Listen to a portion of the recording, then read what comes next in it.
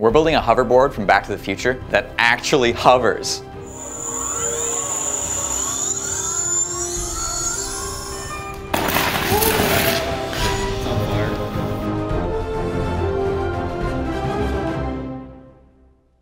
This episode Make It Real is sponsored by Monster Legends, the very first game to feature the Hacksmith as a character. Download today to help support the channel and get your very own Hacksmith monster.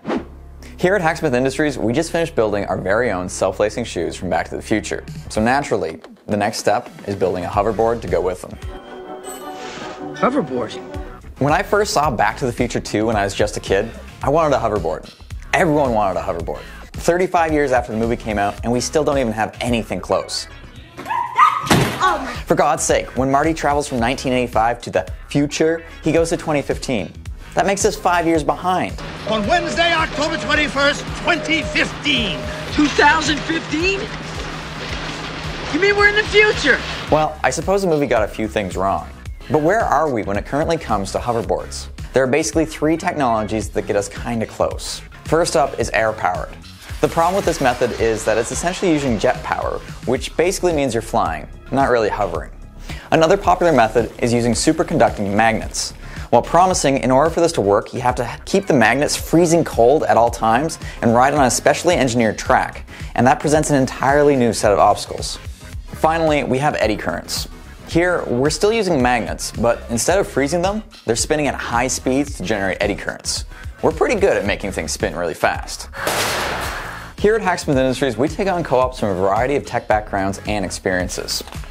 This is Jimmy. Jimmy studies mechanical engineering at the University of Waterloo, and he also leads Waterloop, a student design team developing Hyperloop technologies based on Elon Musk's ideas.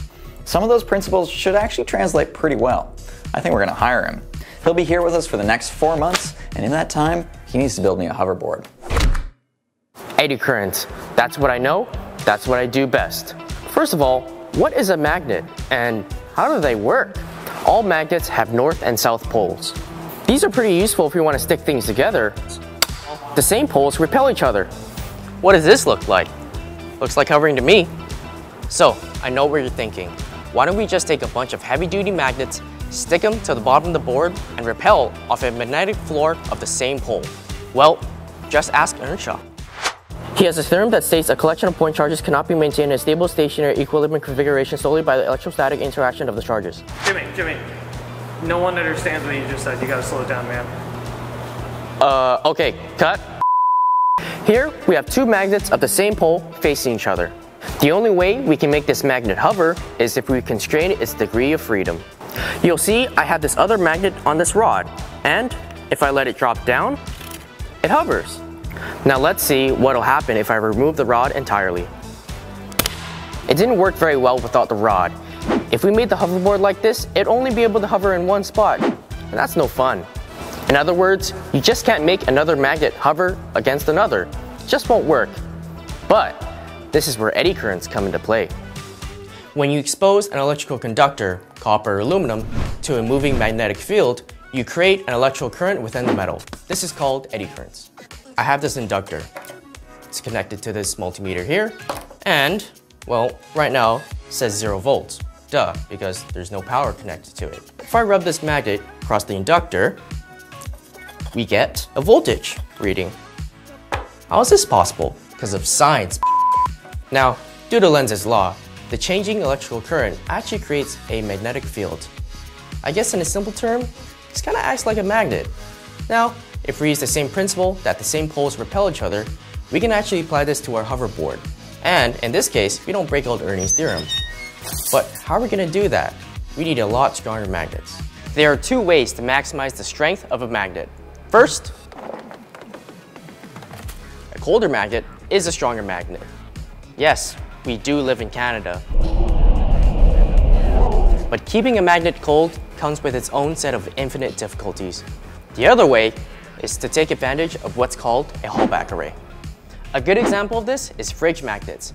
Use one side of it and it doesn't stick. Flip it over. Apparently, our big fridge is made out of aluminum. That means magnets don't stick to it. Luckily, our small fridge here is made out of steel. So, as I was saying, you flip this over and it sticks. Monster Legends is a free epic game available on Android and iOS. There are hundreds of monsters to collect, and you can even breed two monsters to create your own. With different PvP modes and new events every week, fighting against your friends in real time is super easy and always different. And get this, for a limited time, there's actually an official Hacksmith monster. This is the first time a game has ever featured me. Check out the logo on the chest. How cool is that? The Hacksmith monster will be available in three versions, as an egg, a baby, and an adult. So make sure you feed me and take me to battle. Wait, that sounds kind of weird. The Hacksmith monster features two elements, fire and metal. I wonder why they came up with that. If you want to play with my official monster, there are three different ways you can get it, via the in-game offers, through the Legends Pass, and through the breeding event. And hey, why not breed the Hacksmith monster? What crazy monsters can you guys make with me? That also sounds weird. I'd love to see what you guys can come up with. Just remember, the Hacksmith monster is only available from December 10th to January 8th, so make sure to download the game today using my link below. These magnets need to be fixed to our board, and the easiest way to make them move at a high speed is to create spinning wheels that are connected to the bottom of our board. In this case, we'll be using these arc magnets specifically designed for Halbach arrays from K&J Magnetics. But how many magnets do we need? How strong are they? And how fast do we have to spin them? We could spend all day trying to calculate the theoretical forces they could make, but that's really hard. There's so many different factors that affect it, and modeling it is really hard. Trust me, I've tried. Let's just build one to test.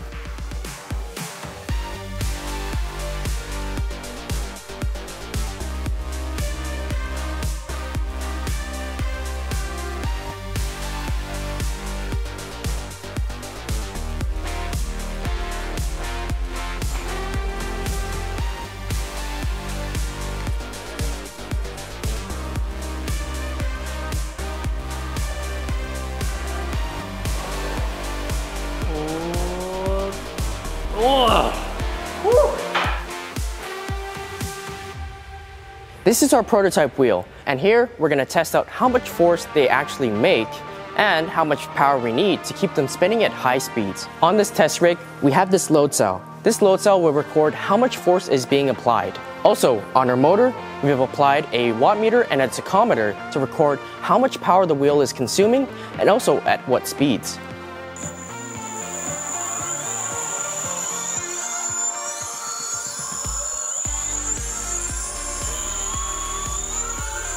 So our tests have shown that we can do 44 pounds of force at around 5,500 RPM.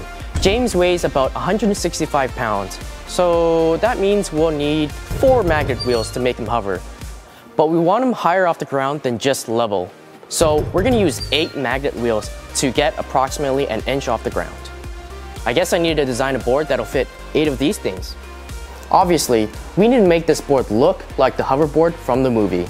Hoverboard. It's such a 1980s imagining of the future. The pink, the diagonal lines, I love it.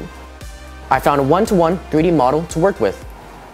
Let's transpose the wheels onto the board and see how much space we need. Then we can scale the model up until everything fits inside. Unlike a conventional skateboard that bends when you stand on it, we can't have that with our board. So, Instead, we're gonna make this board out of aluminum. It's light and strong, but more importantly, it's non-magnetic. Let's make it real.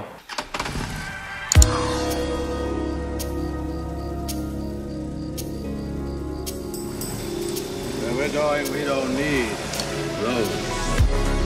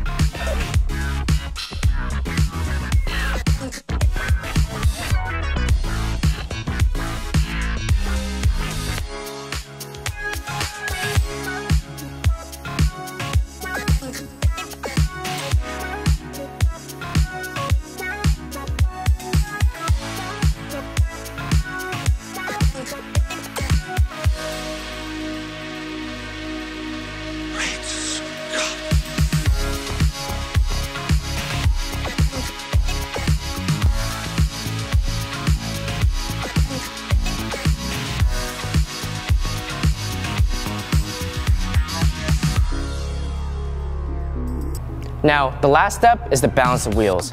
If we don't balance them, this is how they're gonna perform.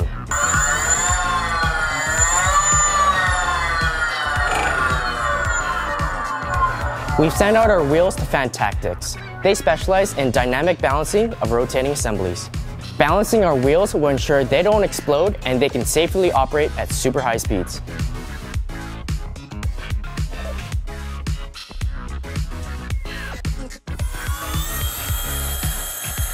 Wheels are ready, board is ready. In part two of the hoverboard series, we're gonna be wrapping the board in beautiful pink 80s glory. I'm gonna assemble it, I'm gonna make out with my mom, and James is gonna hover. Burr, burr, burr, burr. Jimmy, what happened? Well, this is what happened.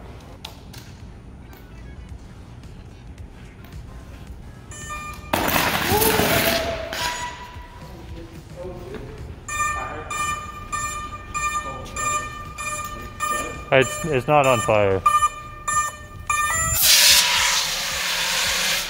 It's not on fire. It's on fire. oh, it's sparking. Okay. Sometimes things don't exactly go to plan. You're not going to want to miss part two of our hoverboard series. Things go a little off the rails.